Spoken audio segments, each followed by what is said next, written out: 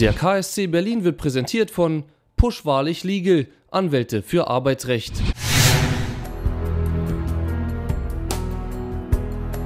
Weil in Pre-Playoffs jedes Spiel ist entscheidend. Playoffs ist wirklich ein sehr, sehr komisches Spiel. Ja. Jedes Spiel ist eine Sache in sich. Drinbleiben oder rausfliegen, das ist eine ganz andere Nummer.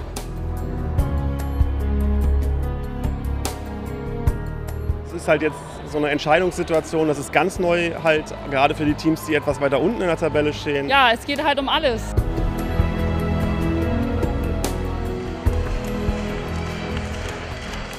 Premiere für den Köpenicker SC. Mit der Teilnahme an den Pre-Playoffs sind die Schmetterlinge zum ersten Mal überhaupt noch mit dabei, wenn es in die heiße Phase der Volleyball-Bundesliga geht. Eine echte Derby-Serie gegen den Lokalrivalen vom SC Potsdam sorgt dabei für eine zusätzliche Portion Brisanz.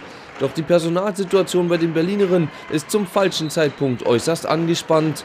Mit Kapitän Ilona Dröger und Patricia Grohmann fiel der angestammte Außenangriff komplett aus. Zudem bleibt auch Pia Riedel weiterhin nur die Zuschauerrolle. Grohmann und Riedel fehlen verletzungsbedingt. Der Grund für den Ausfall von Ilona Dröger war dagegen von vornherein die schönste Nachricht des Tages. Die Mama des KSC-Teams wird diese Rolle bald auch privat einnehmen.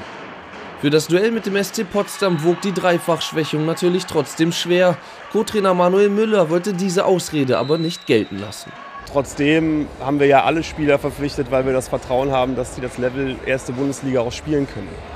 Ja, also kann man jetzt nicht nur sagen, die haben gefehlt, das konnte ja nichts werden, sondern die anderen müssen auch in der Lage sein, den Druck hier standzuhalten in, in so einer wichtigen Saisonphase und äh, dann ihre Leistung auch bringen.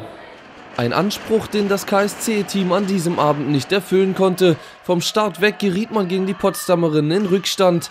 Viel zu schnell war der erste Satz schon so gut wie verloren. Lucia Fresco punktete für die Gäste, die schon beim Stand von 16 zu 6 zum ersten Mal mit 10 Punkten in Führung gingen.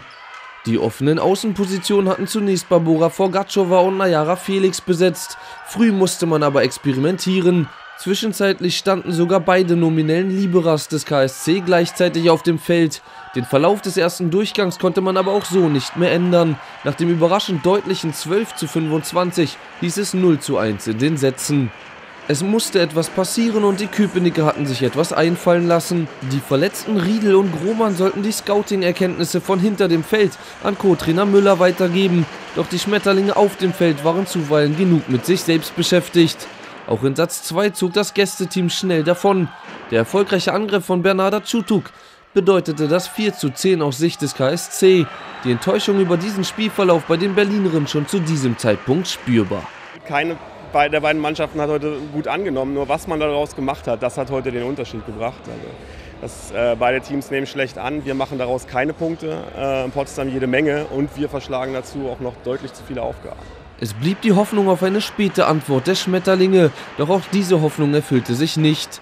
Der KSC verlor wiederum den Anschluss und nach dem Block gegen Maya Burasa auch den zweiten Durchgang, erneut mit 12 zu 25. Vor den Augen von Ex-KSC-Spielerin Nienke de Wart mussten die Schützlinge von Trainer Hilferer Coutinho nun auch noch einem 0 zu 2 Satzrückstand hinterherrennen. Veronique Skorupka vermisste im eigenen Team in diesem Moment eine echte Führungsspielerin. Ich glaube, dass uns einfach jemand gefehlt hat, der die Verantwortung übernimmt. Der dann sagt, okay, gib mir den Ball, ich mache den Ball tot. Wir haben zu viele Eigenfehler gemacht, vor allem im Aufschlag, in der Annahme. Und ja, da kann man halt auch kein Volleyballspiel aufziehen. Der dritte Durchgang und noch immer keine Besserung in Sicht. Wieder stellte Potsdam mit einem Blitzstart die Weichen schon auf Sieg. Nikolina Jelic markierte das 7 zu 1. Auf KSC-Seite machte sich sowohl auf dem Feld als auch auf den Rängen Resignation breit. Daran konnte auch einer der wenigen sehenswerten Punkte durch Maya Burasa nichts ändern. Beim 8 zu 14 war der Rückstand zwar noch verhältnismäßig moderat, in der Folge zog Potsdam aber wieder deutlich davon.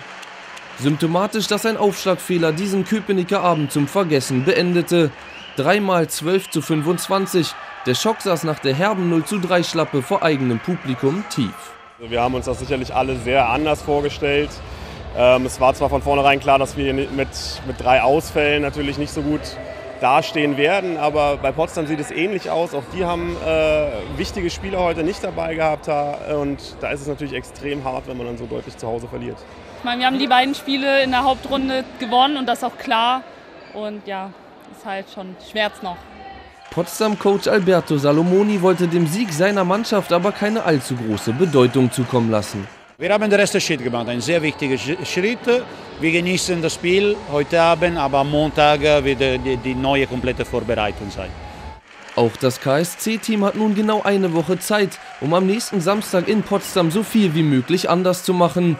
Den Glauben an den Einzug ins Playoff-Viertelfinale scheinen die Schmetterlinge jedenfalls noch nicht verloren zu haben. Wie viel Hoffnung ist noch da? Lebt der Traum von den Playoffs noch? Auf jeden Fall noch zu 100 Prozent.